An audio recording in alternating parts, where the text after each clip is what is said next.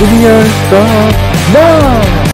Hello guys, it's Nick from Let's Chat and in this video today I'm going to review my semi-final footy tips and I'm also going to do my preliminary final tips as well.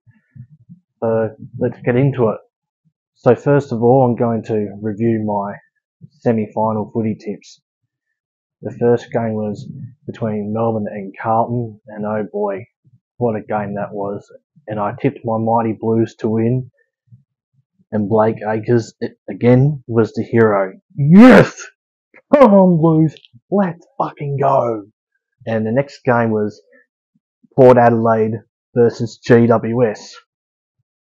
And I tipped GWS as well. And they also won, so I, I got two out of two this week they were both upsets by surprise. So both Carlton and GWS march on to the preliminary finals. Alright, so the first match of the week is going to be between Collingwood and GWS on the Friday night at the MCG. Collingwood, they are coming off a seven point win over Melbourne. That they're no longer in the competition for the year now because they got knocked out in straight sets for the second year in a row, Melbourne. And Collingwood were too good and they won in a, a gutsy seven point game in the qualifying final. I was at that game, obviously. I uploaded the, the match day vlog the other day, so go check that out. Um, and GWS, well, they had a um, famous win over Port Adelaide. Toby Greene was good, and Jesse Hogan was awesome. He kicked four goals, four behinds. He could have really kicked eight goals. Imagine that if he was kicking straight. He missed some gettable shots, but didn't really affect the Giants in the end. Port Adelaide were just sloppy. They're normally terrible at, in finals. Um, sorry if you're watching this, Zay Burnell, I know you love your Port Adelaide Football Club, but they were shit on the weekend. You gotta admit that.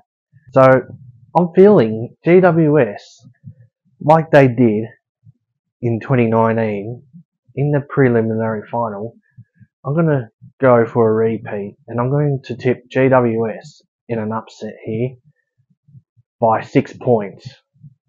I just don't think Collingwood will get to the big dance again. I know, because I don't think Nick Daicos will be at his best because he's just coming back from injury this week, and and I heard that Taylor Adams um, is no guarantee of playing either. So the other match of the week is between Brisbane and Carlton at the Gabba on the Saturday afternoon, or should I say Saturday evening, whatever you want to call it. It's a twilight game. It's on it at a stupid time at 5:15 p.m. But it is what it is. Luckily, I'll be home for it, so that works out for me well. Brisbane, they had a um, big win over Port Adelaide in the qualifying final at the Gabba with Joe Daniher kicking five goals. He was inspirational for him.